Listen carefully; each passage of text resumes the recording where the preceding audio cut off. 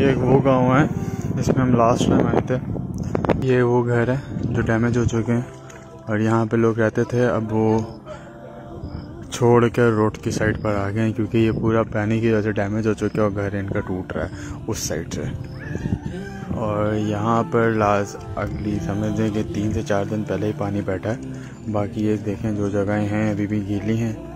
ये बेसिकली पूरा एक घर था जिसकी दीवारें वगैरह गिर चुकी हैं। इस वजह से पानी की वजह से।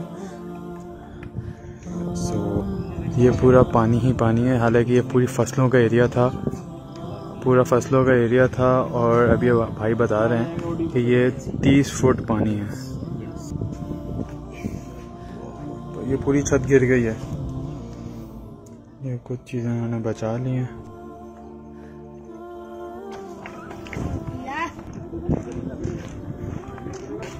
भाई पाँच पैकेट बस यही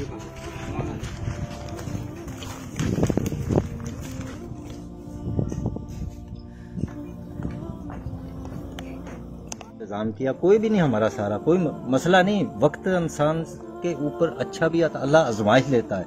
जब आदमी आजमाइश में पूरा उतरता है ना फिर अल्लाह खुश होता है देख मैंने अपने आदमी को आजमाइश दी। अल्लाह ही करने वाला अल्लाह नहीं अल्लाह नहीं अल्लाह ताला ने आप लोगों के माइंड में अल्लाह नहीं डाला भेजा है। कोई मसला नहीं आप हमारे भाई हैं हमारी मदद कर रहे हैं हमारे गाँव की हर आदमी की आप मदद कर रहे हैं। हमें बहुत खुशी हुई। हर चीज़ ऐसी जितनी टीम काम कर रही है जितने वॉन्टिंग काम कर रहे हैं। उन सबके दुआ में ज़रूर याद रखें। बिल्कुल हम दुआ कर रहे हैं हमारा पूरा गाँव और जितने लोग हमें सारा पता है। जहाँ जहाँ उमरकोट जहाँ सारे मदद कर रहे हैं हमें सब पता है। अल्लाह ताला आपको इसको अजर हर आदमी जो भी है आपकी मदद करे और आप आगे जाएँ। अल्लाह ताला ऐसे वसाइल चलते हैं। अल्लाह ताला पैसा तो हर आदमी के पास बहुत है मगर काम करने के लिए जज्बा होना चाहिए। अल्लाह ताला आपको बहुत तफीक दे और अल्लाह आपकी हो किया हुआ है क्या नज़र आ रहा है ये पीछे? ये सारी दीवारें जो गिरी हुई है क्या? हाँ, ये बारिश में गिरी ये ये भी आपके घर की दीवारें हैं सारी? हाँ, ये ये ये जो है? ये बाउंड्री पूरी गिरी ना इधर से।